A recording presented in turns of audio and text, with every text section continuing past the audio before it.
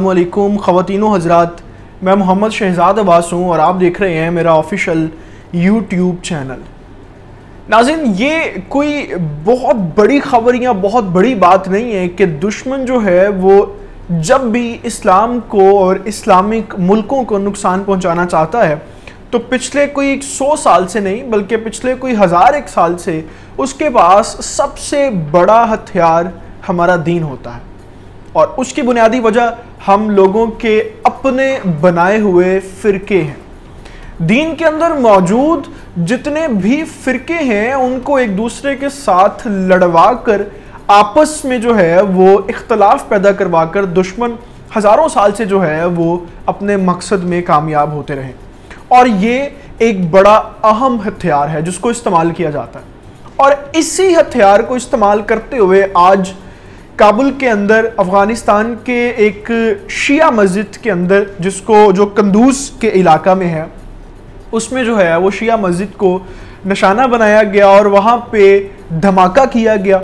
और उस धमाके के नतीजे में जो है, वो सैकड़ों हलाकतें हुई हैं, जिन हलाकतों के बाद बड़े अहम और ज़रूरी सवाल जो हैं, वो खड़े हो गए। क्योंकि वो मस्जिद जो थी, वो अहल तशी मसल की थी। और उस जो मस्जिद के ऊपर अटैक जो हुआ है, उसके बाद ये सवाल खड़े होना शुरू हो गए हैं कि जिस तरह से पहले ही अफगान तालिबान अपनी पहली गवर्नमेंट में जब वो 1996 के अंदर आए थे तो इन्होंने जो सुन्नियों के अलावा बाकी जितनी भी और जितने भी फ़िरके थे, जितनी भी जमातें थी, उनके खिलाफ एक्शंस करना शुरू कर दिए थे और उनके लिए यहाँ पे मुश्किल पैदा कर दी थी। तो अभी फिर दोबारा से जो है वो तालिबान ने सुन्नियों के अलावा जितनी दूसरी जमातें हैं, उनके खिलाफ जो है वो खुद ही स्ट्राइक्स करवाना शुरू कर दी हैं। ये सारे सवाल जो है वो उठना शुरू हो गए हैं, जिसकी तफसीलन मैं आपको यहाँ पे बताऊँगा कि ये हमला जो है वो किसकी साजिश है और ये क्यों किया गया है और इस वक्त इसके पीछे सबसे बड़ा जो अहम कारनामा है वो क्या है? किस चीज़ को, किस मकसद को हासिल करने के लिए जो है वो ये मस्जिद के ऊपर अटैक किया गया है, जो बिलखसूस अहल तशियों की मस्जिद थी। सारी तफसीत आपको बताऊँगा। इस वीडियो को मुकम्मल देखिएगा। आपने अभी तक अगर हमारे चैनल को सब्सक्राइब नहीं किया तो उसको प्लीज़ सब्सक्राइब कर लें बेलाइकन को प्रेस कर लें, क्योंकि यही एक वाहद और आसान तरीका है आपके हमारे साथ का। और इसी तरीके से आप तक बर वक्त हम अहम और मुस्म तरीन खबरें पहुँचाते रहते हैं। ख़वान हजरात, कल जो है जुमेरात वाले दिन एक बड़ी अहम मुलाकात होती है अफ़गानिस्तान के अंदर, जो अफ़गानिस्तान के वज़ीर ख़ारजा हैं, आमिर ख़ान मुत्तकी। उनकी मुलाकात होती है अब्दुल अज़ीज़ से, जो कि उज़्बेकिस्तान के वज़ीर ख़ारजा अब थोड़ा सा ज़रा इसको ना समझें। ये मैं आपको तफसीलन जो है ना, वो दलीलें और सबूत देने लगा हूँ कि वाक़ जो है वो किसकी साजिश है, आपको खुद समझ आएगा। उज़्बेकिस्तान जो है, वो एक मुस्लिम कंट्री है और उसके अंदर जो मेजोरिटी है जो आ, मुस्लिम हमारे यहाँ पे स्कूल ऑफ़ थॉट्स हैं उसमें जो मेजोरिटी है वो अहले सुन्नत की है। अच्छा उसके बाद जो आज़रबाईजान मुस्लिम कंट्री है उसके अंदर जो मेजोरिटी है मुस्लिम्स कम्युनिटी की स्कूल ऑफ़ थॉट की वो अहले तशियों की है।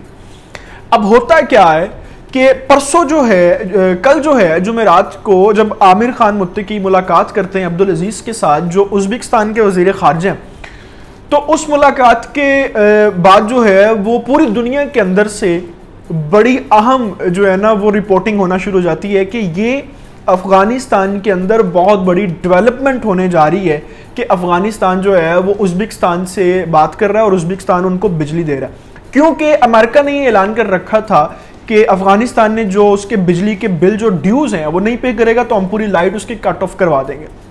ये मुलाकात खास तौर पे जो है वो तोानाई के ऊपर थी। उज्बेकिस्तान ने जो है वो यकीन दहानी करवाई और ताउन करने की बात की और कहा कि मुस्लिम मुल्क हैं, मुस्लिम भाई हैं, जब तक आप मुश्किल में हम आपके साथ हैं। और इस मुलाकात को जो है वो बहुत बड़ी डेवलपमेंट समझा जा रहा था, क्योंकि इसके ऊपर एक अमरीकी तजियाकार हैं, बड़े मशहूर, उनका नाम है माइकल गुगमेलन। इन्होंने जो है वो एक ट्वीट किया और उस ट्वीट के अंदर इन्होंने लिखा कि ये अफ़गानिस्तान की, जब से हुकूमत आई है तालिबान की, सबसे बड़ी डेवलपमेंट है अब तक की। और वो ट्वीट जो है वो वायरल हो गया। अब जैसे ही वो ट्वीट वायरल होता है, लोग उसको देखते हैं और आप जैसे हम लोग देखते हैं, इसी तरीके से जो दुश्मन अनासर हैं वो भी देख रहे होते हैं। जैसे ही वो ट्वीट वायरल होता है, उससे अगले रोज मतलब 16 से 17 घंटों के दरमियान ही अहले तशी मस्जिद के ऊपर धमाका होता है। अब यहाँ पे एक चीज़ आप ये सोचें, मैं यहाँ पे किसी के ऊपर एलिगेशन नहीं लगा रहा, लेकिन मैं इसको जो है ना, वो डॉट्स कनेक्ट करके आपको ये बात समझाने की कोशिश कर रहा हूँ कि ये सुई किस तरफ़ जाके घूम रही है। जो अफगान तालिबान है, उनकी मेजोरिटी जो है, वो अहल सुन्नत की है।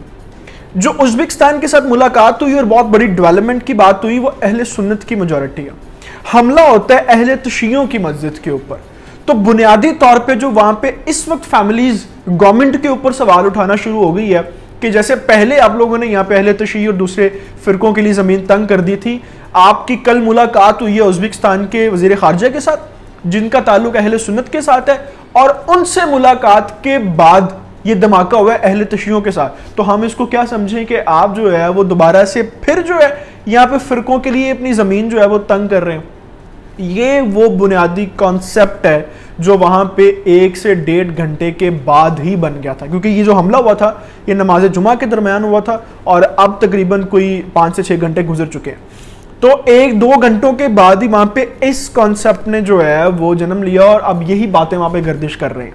तो आप यहाँ से अंदाज़ा लगाएँ कि जो इस वक्त हमारे दुश्मन हैं, मुश्तरका तौर पर तो उन्होंने किस तरह से इस चीज़ को जो है, वो इसका फ़ायदा उठाया और इसका फ़ायदा उठाते हुए उन्होंने इस मौके से जो है, वो अफ़गान गवर्नमेंट को, मुसलमानों को और ख़ास तौर पे इस वक्त ख़त्े को जो है, वो नुकसान पहुँचाने की कोशिश की।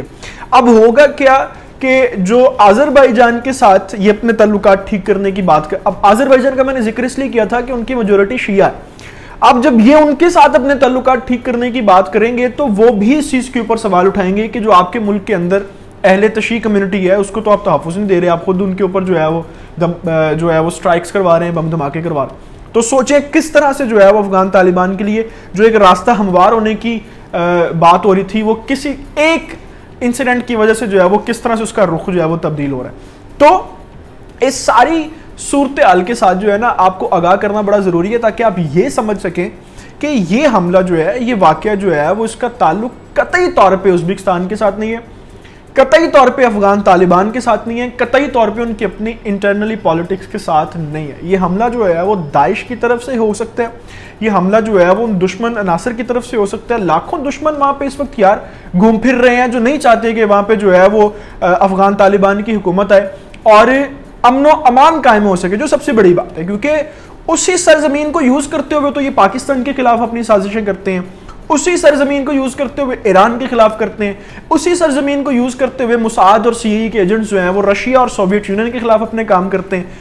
तो वो बड़ा ज़रूरी है उनके लिए वहाँ पे अमनो अमान को ख़राब करना। अगर अमनो अमान हो जाएगा बॉर्डर्स सिक्योर हो जाएँगे, मुल्क के अंदर हालात सिक्योर हो जाएँगे तो किस तरह से दुश्मन जो है, वो दूसरी सरजमीन के ऊपर जाके अपना मामला कर सकेंगे?